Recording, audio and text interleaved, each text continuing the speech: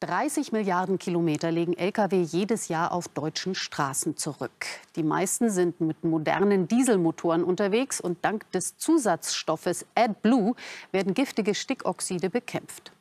Doch nach Recherchen des ZDF und Camion Pro, einem Verband deutscher Transportunternehmer, tricksen Speditionen, vor allem osteuropäische, zulasten der Umwelt und der Staatskasse. Ron Böse mit mehr. Lkw müssen immer sauberer werden. Das funktioniert dank AdBlue, einem Zusatzstoff zur Abgasreinigung. Er verwandelt gefährliche Stickoxide in harmlosen Stickstoff und Wasser. Abgasreinigung mit AdBlue ist im Moment das Beste, das wir haben, wenn es halt funktioniert. Aber AdBlue ist ein Kostenfaktor, schmälert den Gewinn der Spediteure.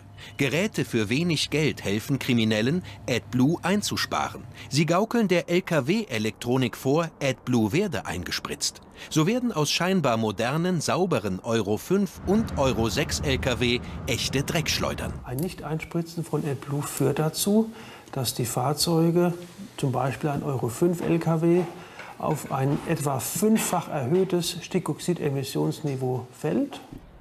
Der Umweltphysiker Dennis Pöhler hat eine Sonde entwickelt, die Abgase von einzelnen Lkw während der Fahrt messen kann.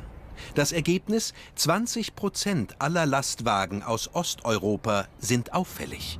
Heißt, bis zu 14.000 Tonnen mehr Stickoxide pro Jahr in Deutschland. Das Doppelte des VW-Abgasskandals in den USA.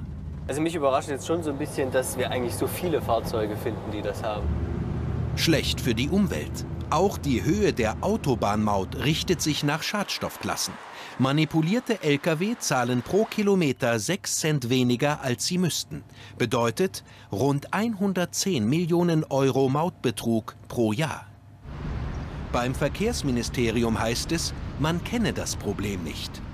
So verliert der Staat womöglich Millionen an Mautgebühren und Dreckschleudern verpesten weiter unsere Luft. Über die Tricksereien und die Folgen berichten die Kollegen von Frontal 21 ausführlich heute Abend um 21 Uhr.